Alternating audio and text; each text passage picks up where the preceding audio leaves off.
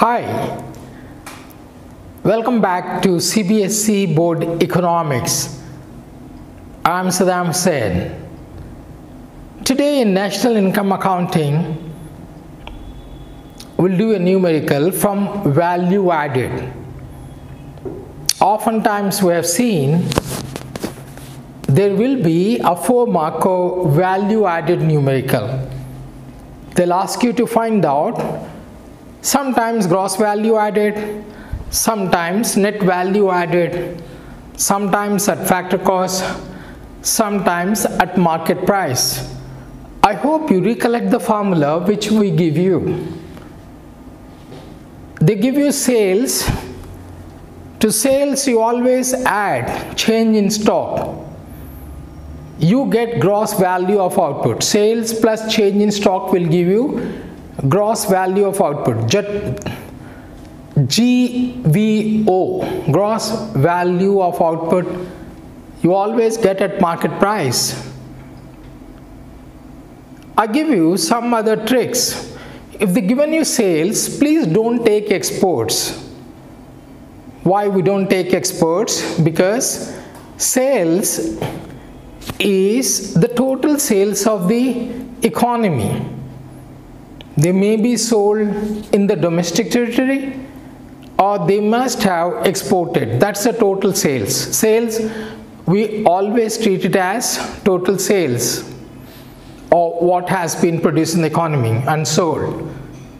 Sales. To this you add change in stock. You get gross value of output. In change in stock, you already know the formula. Change in stock is equal to closing stock minus opening stock not the other way around. Not opening stock minus closing stock. Some students mistake it and write it in the exams. So change in stock is equal to closing stock minus opening stock. So always remember GVO at MP gross value of output at market price is equal to sales plus change in stock.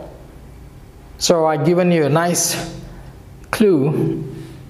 If they given you sales please don't take exports. Unless they give you domestic sales. If they given you domestic sales please add exports.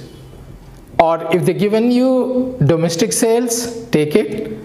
Exports of course add to that. Value of goods kept for self consumption please take it. And okay that's it. Sales plus change in stock is normally what they give you. From gross value of output if you subtract intermediate consumption expenditure. You get gross value added. GVA at MP you always get it market price. Don't forget it. GVA at MP from GVA gross value added market price. If you subtract depreciation we call it as consumption of fixed capital you get the gross value will become net value. NVA at MP net value added market price from net value added market price, if you subtract NIT, net indirect taxes, that is indirect taxes minus subsidies, you get net value added factor cost. That's it. Net value added factor cost of all the firms within the domestic territory, we call it as NDP at market price, net domestic product.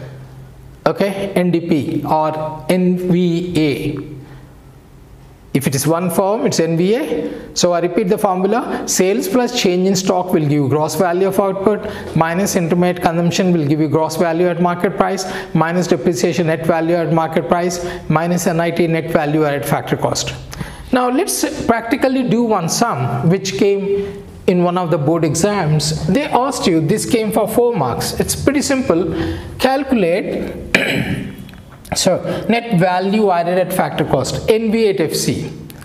All the values are given rupees and crores. Don't forget this to write it in exams. All the values are rupees in crores. They given you sales 400 crores, change in stock minus 20, uh, intermediate consumption is 200, pretty simple.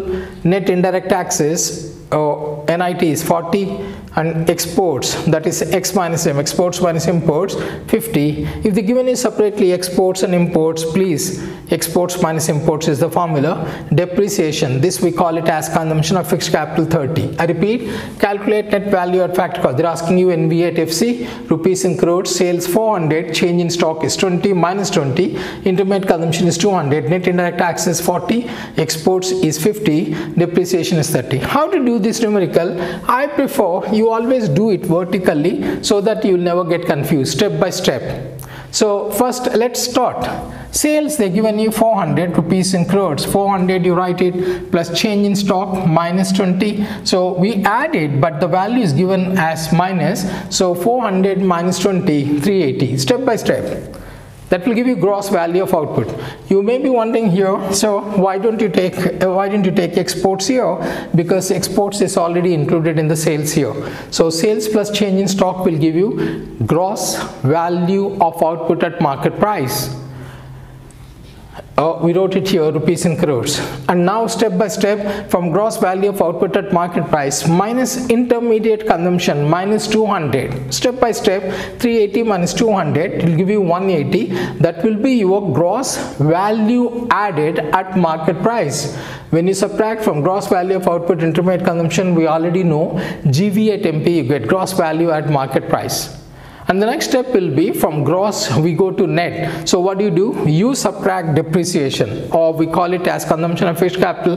Depreciation is given there as uh, 30 so minus 30 that comes out to be 150 150 that will be from gross to net net value added at market price and the last step is from net value added at market price we subtract NIT net indirect taxes they're given you here directly as uh, 40 so we subtract net you get net value added at factor cost that will be 110 so once again I repeat sales plus change in stock will give you gross value of output at market price from gross value of output market price, if you subtract intermediate consumption expenditure, you get gross value at market price. From gross value at market price, subtract depreciation you get net value at market price. From net value at market price subtract NIT net value added at factor cost. Pretty simple here.